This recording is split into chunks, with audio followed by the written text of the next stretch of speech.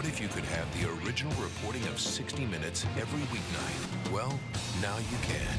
The CBS Evening News with Scott Pelley, June 6th.